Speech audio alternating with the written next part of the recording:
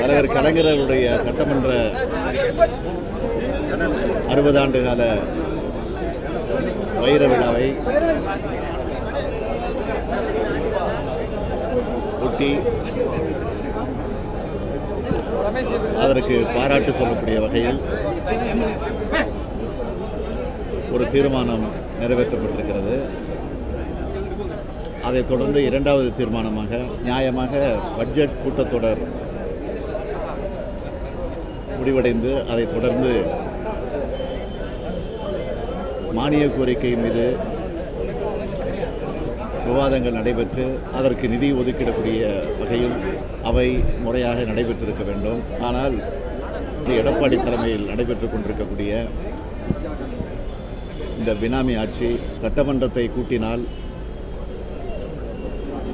ஒருவேளை தொடர்ந்து ஆட்சி இருக்குமா என்கிற ஒரு சந்தேகம் அவர்களுக்கு ஏற்பட்டிருக்கிறது. அது மட்டுமல்ல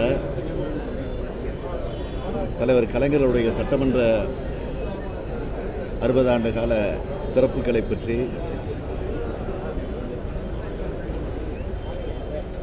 சட்டமன்றத்தில் எங்களை போன்ற சட்டமன்ற உறுப்பினர்கள் தலைவருடைய பெருமைகளை சிறப்புகளை பேசி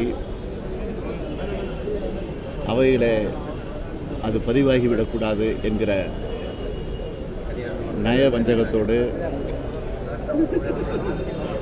ஒரு சிறு துளி அளவு கூட அரசியல் நாகரிகம் இல்லாமல் இந்த சட்டமன்ற கூட்டத்தொடரை நடத்துவதற்கு முன்வராமல் வேண்டுமென்றே சட்டமன்ற கூட்டத்தொடரை முடித்து வைக்கக்கூடிய நிலையில் ஒரு சூழ்நிலையை ஏற்படுத்தியிருக்கிறார்கள்.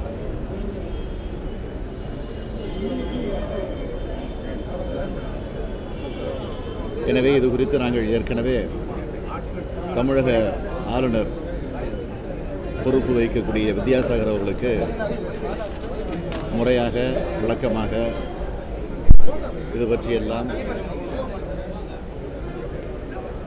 எழுதி கடிதம் எழுதி உடனடியாக சட்டமன்றத்தை கூட்ட வேண்டும்.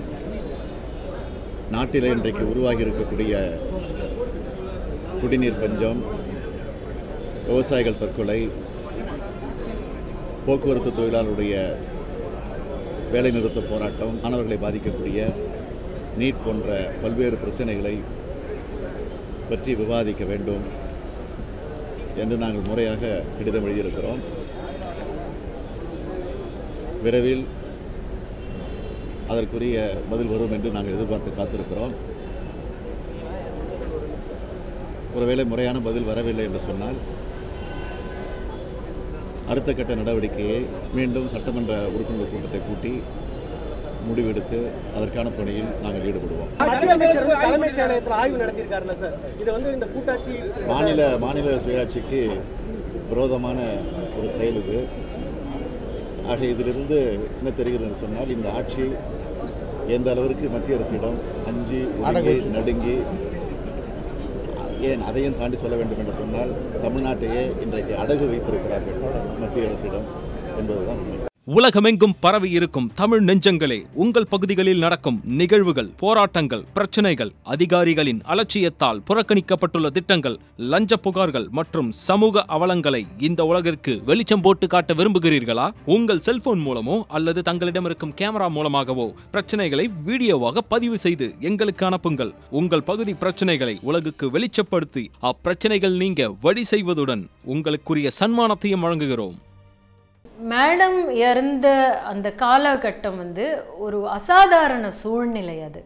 அந்த அசாதாரண சூழ்நிலையை பற்றி எல்லாரும் பேசுகிற மாதிரி தான் வந்து சினிமாவில் இருக்கிறவங்களும் பேசியிருக்காங்கன்னு தான் நான் பார்க்குறேன் ஒரு லாயர் கருத்து சொல்லலாம் டீச்சர் கருத்து சொல்லலாம் ஜேர்னலிஸ்ட் கருத்து சொல்லலாம் டாக்டர்ஸ் கருத்து சொல்லலாம் ஒரு ஆக்டர் கருத்து சொல்லக்கூடாதா?